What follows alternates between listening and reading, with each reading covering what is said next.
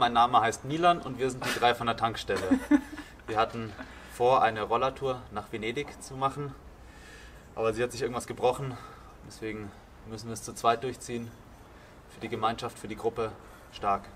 Unsere erste Etappe von München ist nach Garmisch. Wir hoffen, dass wir heute nach Innsbruck kommen und von dort aus dann weiter über Pässe und durch die tiefste Wildnis weiter Richtung Italien kommen.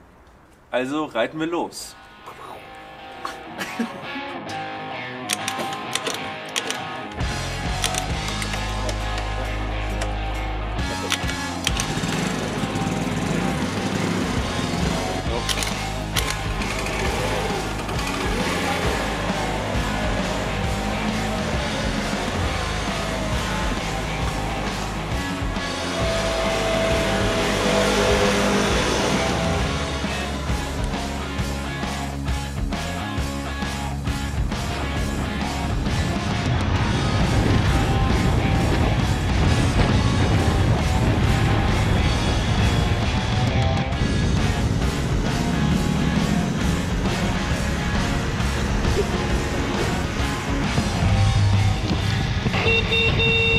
Unglücklicherweise habe ich gerade mein Funkgerät fallen lassen, irgendwo mitten auf der Straße und ich kann Milan nicht erreichen. Ich habe versucht zu funken wie ein Blöder, aber dann ist mir aufgefallen, ohne Funkgerät funktioniert das nicht. Äh, jetzt haben wir uns endlich wieder getroffen. Mein Funkgerät wurde, glaube ich, ein paar Mal überfahren. Aber es scheint noch zu funktionieren, mehr oder weniger.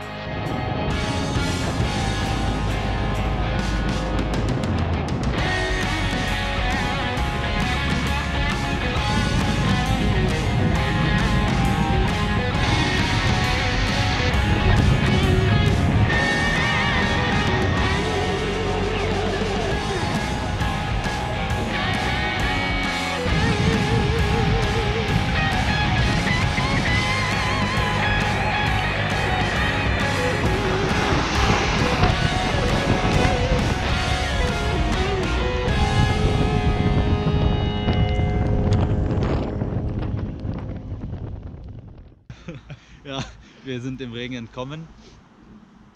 Ziemlich beschissenes Wetter, aber jetzt hier in Innsbruck gut, noch.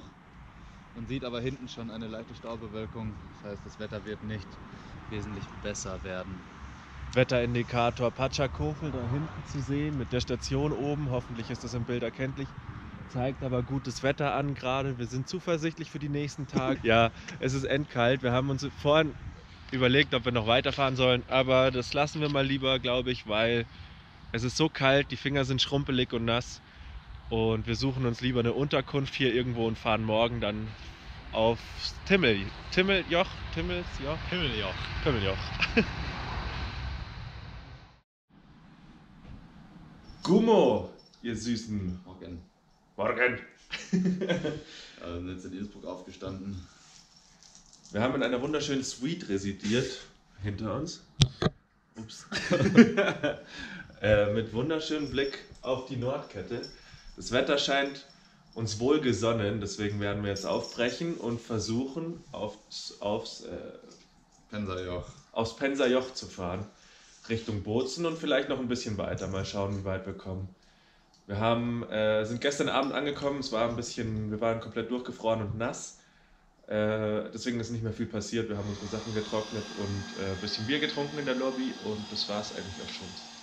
Genau, wir versuchen im Decathlon noch, im Bozen irgendwie noch einen Decathlon oder sowas zu finden, damit wir uns Regenhosen holen, weil die Wetterprognose nicht so schön ist und wir aber trotzdem fahren um des Fahrens willen.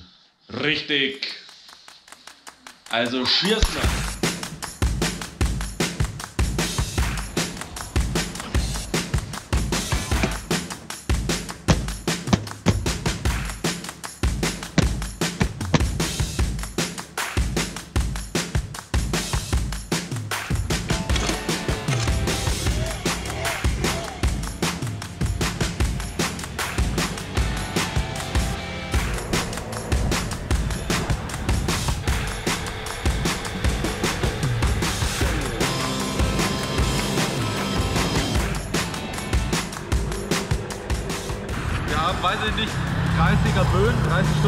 30er Böen, 30 Stundenkilometer, aber das Roller schmiert deswegen ab. Wir kommen mit 20, 30 Stundenkilometer nach vorwärts. Gut.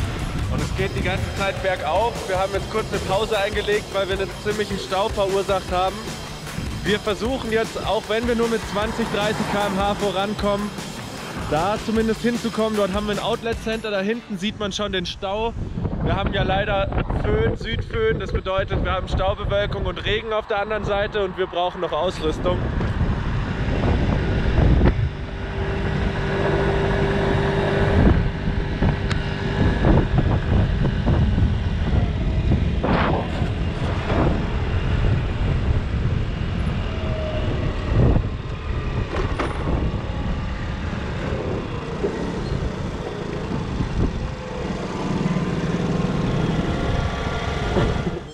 Und äh, da Regen aus. Deswegen haben wir gerade einen kurzen Stopp im Outlet Center eingelegt und suchen jetzt nach Regenhosen.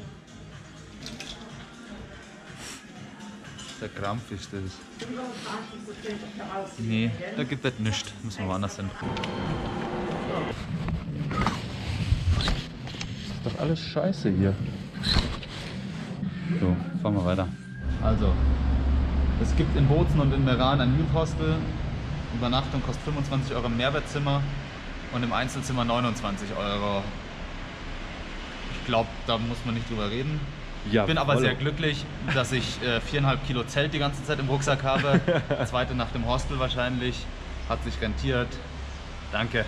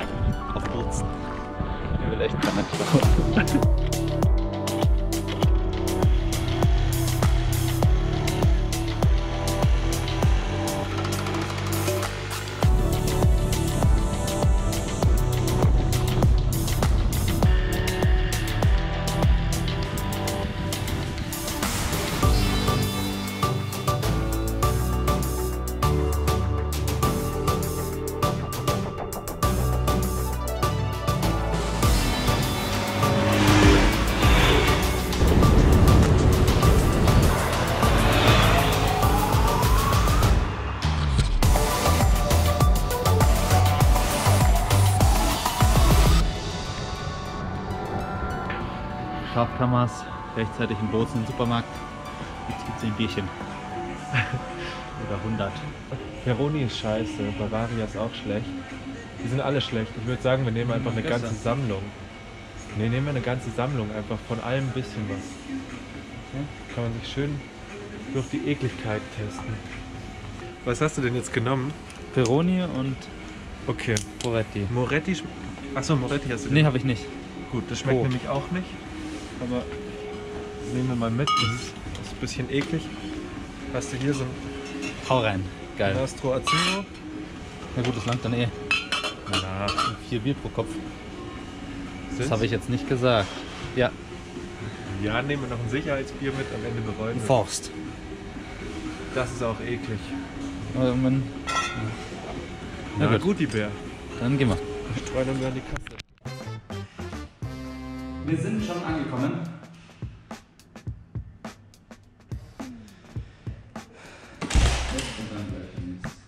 Cool. Dann wackeln wir da mal hin.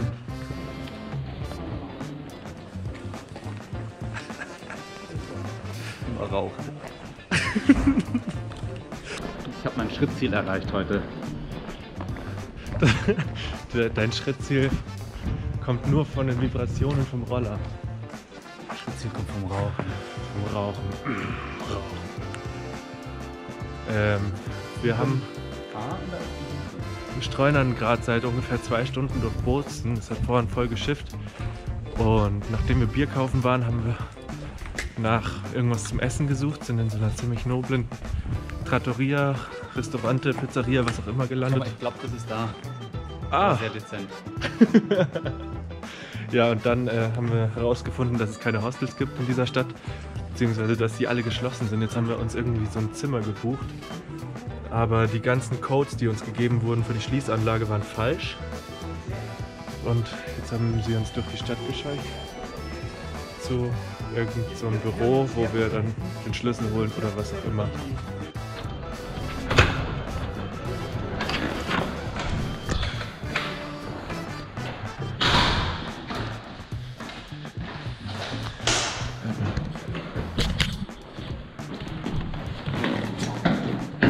Keinen Aufzug.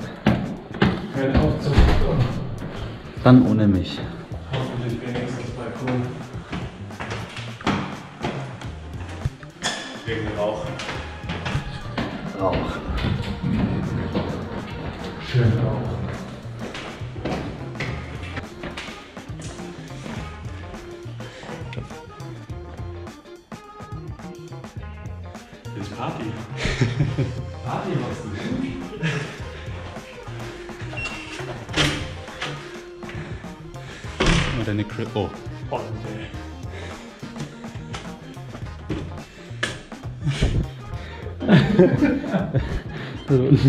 Und das ist unser Kühlschrank. Da geht das Bier aber nicht rein, was wir im Rucksack haben. Weil wichtig ist wichtig. Haust du die jetzt ins Eisfach oder was? Ja, wegen Expresskühlung. Ach so. Bestens normale. So, Ja, Milan, dann und gib, Ding will Weile. dann gib den Leuten doch mal eine Roomtour. Die sind Ah, ja und dann- schon ach so. neugierig. Dann folgt mir. Hier ist unser luxuriöser Spa-Bereich. Das ist aber groß. Das ist zum Füßewaschen. Spiegel. Der Föhn, der Haartrockner, extrem wichtig.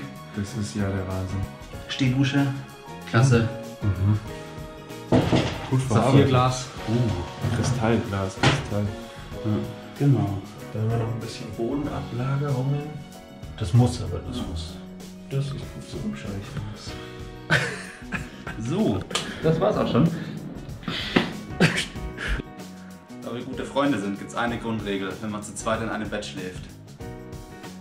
Es darf nicht abgeschleppt werden.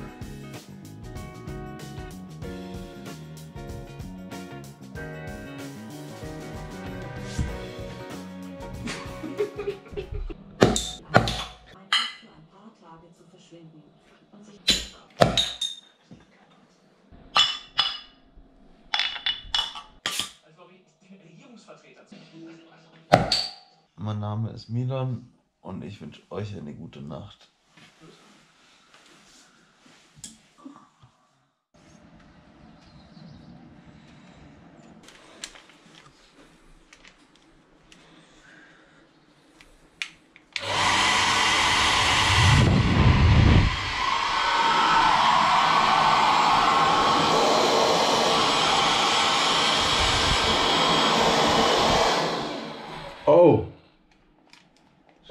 Du willst? Scheiße, kaputt.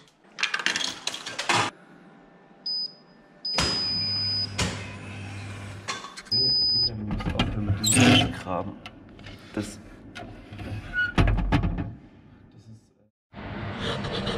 Gumo. Morgen.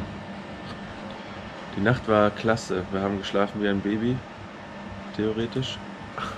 Äh, und hier gibt es guten Kaffeeautomaten-Kaffee. Äh, jetzt ist schon Zigaretten. 10. Zigaretten. Jetzt ist schon 10. Wir müssen auschecken und ähm, fahren wahrscheinlich noch zum Decathlon schnell, irgendwie Regenklamotten holen, weil das Problem ist, auf, nächst, auf dem nächsten Stück erwartet uns eigentlich nur Regen. Nur ja. Und dann äh, geht's nach Italien. Hoffentlich in einem Stück sind noch 200 Kilometer circa. Wir sind schon in Italien, aber er meint nach Venedig. Das ist leider ein bisschen dumm. Ich bin ein bisschen dumm.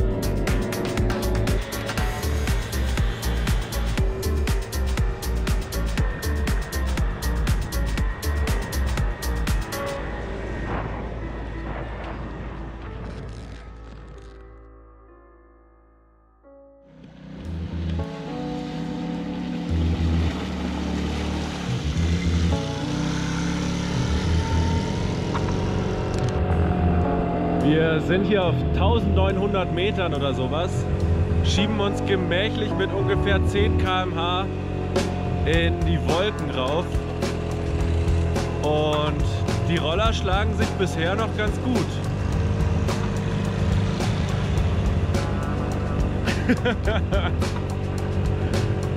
es ist herrlich. Die Aussicht ist leider nicht so schön, weil die Wolken überall drüber hängen, wie man hier sieht. Aber es macht einfach Spaß, einfach mal die Kiste wieder ausreiten und einfach mal an die frische Luft kommen, in die Natur. Herrlich.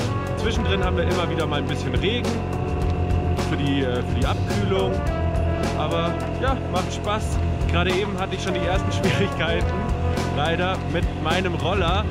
Wir haben eine kurze Pause gemacht, weil wir uns jetzt fast 1000 Kilometer, äh, 1000 Höhenmeter nonstop hochgeschoben haben. Deswegen haben wir gesagt, wir machen eine kleine Pause für die Roller. Und ich hatte gerade richtig Schwierigkeiten, den Roller wieder anzubekommen. Aber jetzt läuft das Baby eigentlich wieder ganz sauber. Schick.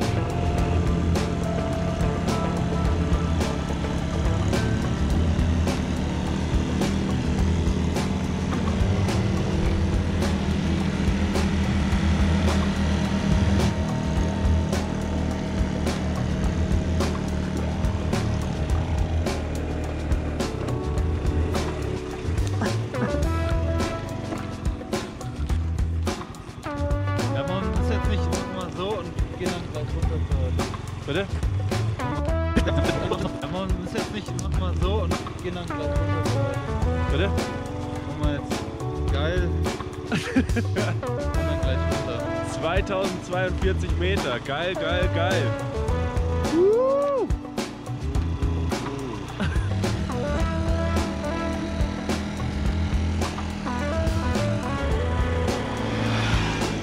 Und wir waren gerade am Rumracen vom Pass, als mir leider meine Bremse flöten gegangen ist. Ist nicht so gut, weil jetzt muss ich immer ziehen. Ah, das ist nicht gut, sag ich mal. Aber es hält noch, es hält noch. Funktioniert noch halbwegs. Äh, ich habe ja noch eine Bremse. Die linke Seite ist irgendwie meine Schrottseite. Dieser Spiegel, der ist Schrott, das Teil ist Schrott. Alles Schrott in diesem Puff! Fuck yeah. Fuck yeah. Ach, scheiß doch die Wand an, Mann.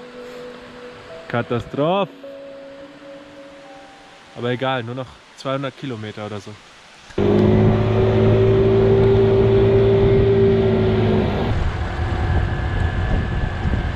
Wir haben es fast aus den Alpen rausgeschafft. Wir sind jetzt gerade in Borgo und äh, sind an irgendeinem Platz und suchen nach einem, nach einem äh, Mechaniker oder irgendwas, wo ich eine Bremse nachkaufen kann. Ansonsten muss ich jetzt mit eineinhalb Bremsen weiterfahren, aber es ist nicht mehr weit. Mit dem Auto sind es jetzt noch 50 Minuten, also wahrscheinlich für uns eineinhalb Stunden.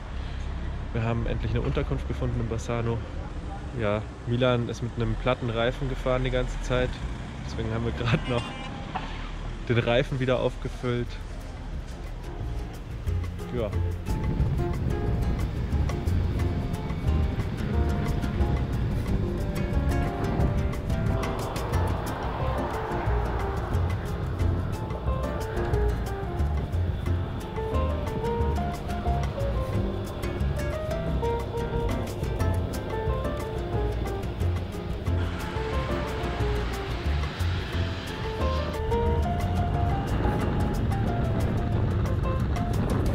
Endlich geschafft. Wir haben die Alpen überquert.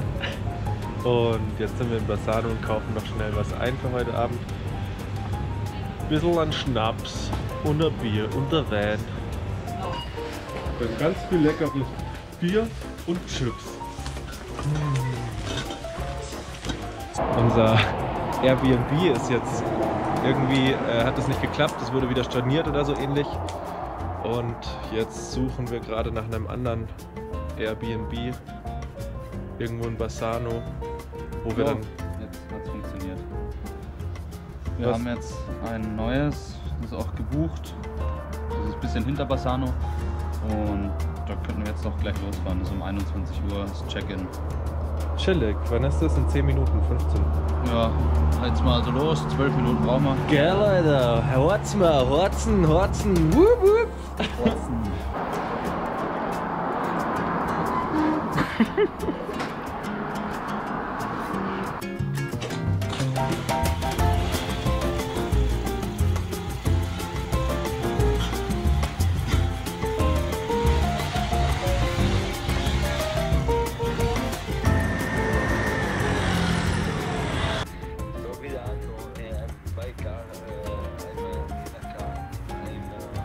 Okay, could you just call us back?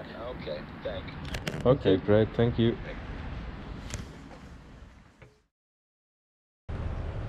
Ähm, gestern waren wir viel zu fertig, um noch irgendwas aufzunehmen, deswegen haben wir das verkackt.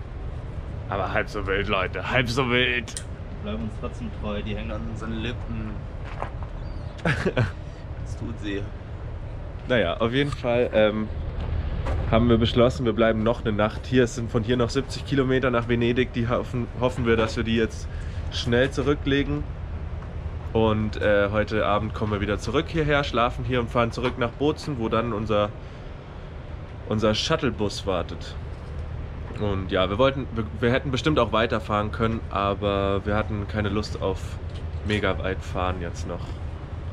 Deswegen heute mal einen chilligen in Venedig schön Kaffee trinken und äh, Ohrbite machen. Gibt's einen schönen Caputo. Caputo. Ich nehme Late Macchiato, Luigi. Hast du eigentlich einen Charabiner dabei? Nee. Du hast aber einen, damit haben wir gestern Bier aufgemacht. Ah ja. Visa hat einen. Danke, Visa.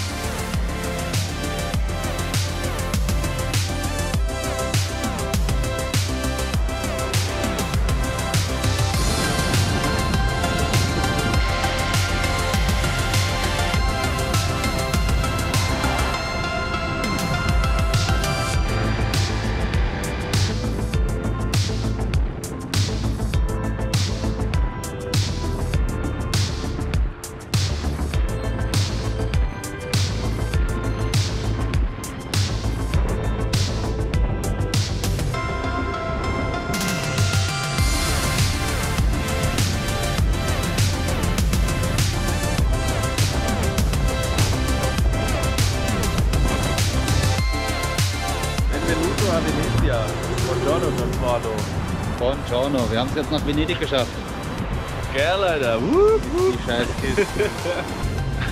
wir haben es jetzt nach Venedig geschafft. Einen kleinen Touristen-Stadtbummel gemacht. Ein bisschen was angeschaut. Und wir sind ends viele Touristen, obwohl eigentlich Corona-Time ist, aber egal. Wir fallen mit dem Selfie-Stick nicht auf. Ja, das ist das Gute, man kann hier filmen wie der größte Touri, weil es eigentlich scheißegal ist. Es sind so viele hier. Ähm, ja, auf jeden Fall mega schön. Wir haben bewiesen, dass unsere Roller es schaffen können nach Venedig. Meiner hat leider ein bisschen gelitten, ist nicht mehr der fitteste jetzt, aber er wird auf jeden Fall noch die Heimreise irgendwie schaffen. Leider wartet auf uns in den Alpen und auf dem ganzen Rückweg eigentlich nur schlechtes Wetter, aber das hatten wir ja am Anfang auch schon. Hier in Bassano dann, unsere erste Station, ist sogar ein Gewittersturm angekündigt. Wird schön. Klasse. Ja, also und äh, wahrscheinlich führen wir das Video jetzt nicht mehr weiter, weil wir eigentlich nur noch gucken wollen, dass wir heimkommen. Aber es hat Spaß gemacht ähm, und hoffentlich hat es auch den Zuschauern da draußen Spaß gemacht. Wäre wär gut. Eh. Like, comment and subscribe, wichtig. Ciao.